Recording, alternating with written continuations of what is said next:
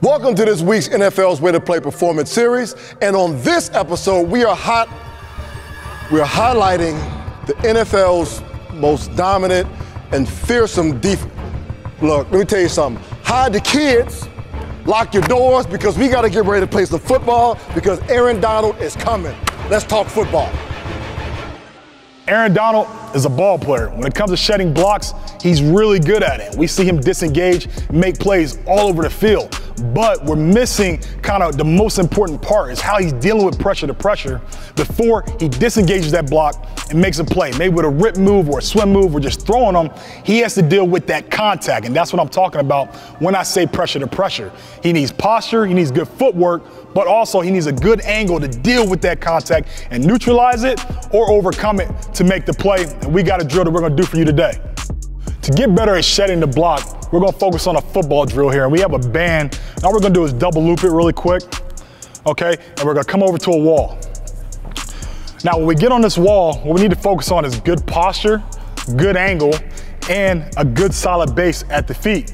As you can see, he's got a nice angle where he's leaning into the wall, right? Spine is stacked, feet are stable. Now, wherever this offensive line athlete is applying pressure or wherever the ball is going, more likely the offensive line athlete will be going there. He's gonna, if he's going to the right, he's gonna drive from the left. If the ball's going to the left, he's gonna drive from the right. Now, this time, try to make it a little more dynamic and drive now. Ready, go. Good. And as you can see, his feet aren't coming together. If he tries to go to the left and pick up that left leg, that band is gonna clip his feet together. Now you can get tipped over, and now that's not what we want. So we don't want the feet to be kind of touching. We wanna be kind of staying in a stable position as they're moving left to right. Now, how does that look? We're gonna give you a little demo. Say I'm the offensive line athlete, he's the defender. What he's gonna do is maintain that base and that posture, and as I come at him, good. He drives with his right to go left, disengages with the block. That's how you try to really deal with that pressure to pressure in movement before you disengage and make the play. When you look at Aaron Donald's ability to shed blocks, it's easy to notice his feet and how quick he is at flipping his hips. But one thing that you can't overlook is how he uses his arms to press and then pull himself around offensive linemen without just having to run straight through them. A lot of times he catches people guessing, leaning, and he's able to control his body with so much strength and control. And that involves a lot of shoulder stability and core strength.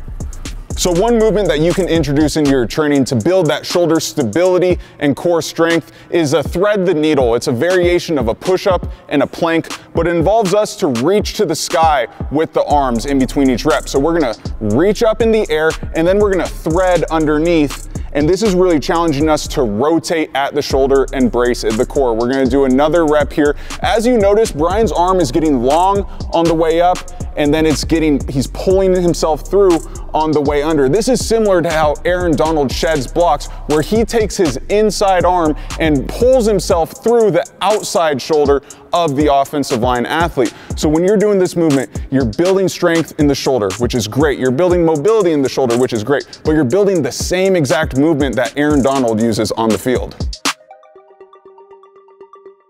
Aaron Donald has become one of the most feared and respected men in the National Football League, and rightfully so. There's so much he does right. He can pass rush, he can play the double team, he can play the run, he can make highlight reels at normal games, he can do things that no one else can do. One of the things that really makes him difficult to play against is his ability to shed blocks.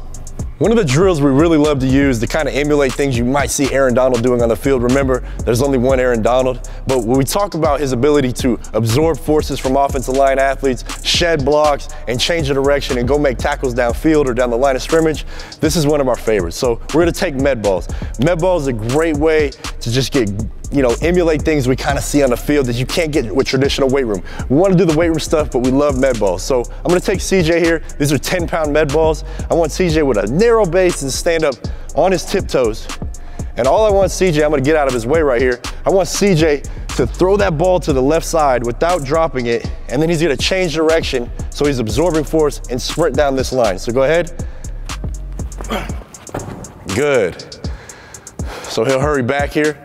Not really, this is something you would kind of walk back to, take about 40 seconds in between, like you would see Aaron Donald in between plays. So this time I really want you to kind of throw this ball to this, this side of you. Don't let go.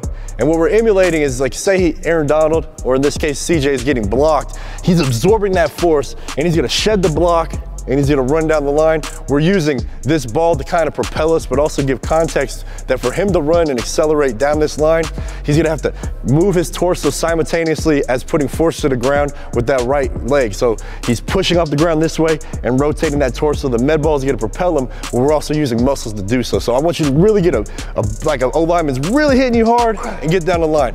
You see this all the time on cutback plays, on inside zone, outside zone. You get hit, you have to plant. Remember, Aaron Donald can see the running back. Offensive line athletes cannot see the running back, so he's absorbing that force, getting down the line, and he's making tackles. Now we're gonna take everything you just learned from the performance side and we're gonna put it into action on the football field.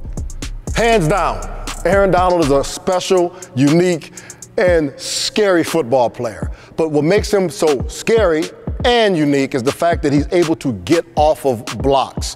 We're gonna teach you how to build the core strength, more so the rotation, and then the flip that you see on a football field. So Brian is going to emulate the movement of him chopping or pulling an offensive lineman and then flipping the hips. So you're gonna get some strength and a little bit of skill combined. Here we go, B. Boom. So imagine, as you can see on film, he's ripping through that shoulder, pulling himself through, flipping those hips, and getting back up the football field.